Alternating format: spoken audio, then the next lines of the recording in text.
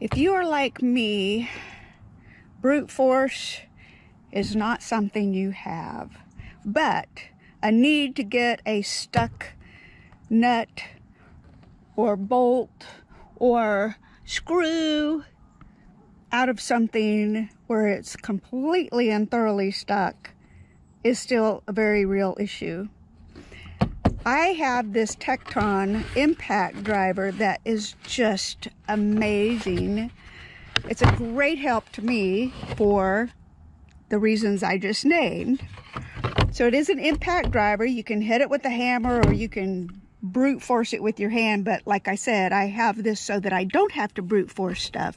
This is the 3 8 inch drive one and it comes with an adapter in this really nice case, an adapter so it fits on the 3 8 inch drive and then you can put um, these different um, bits in here. You've got the regular, uh, I'm going to use the wrong, number two Phillips and number three Phillips, which is the more flat looking one.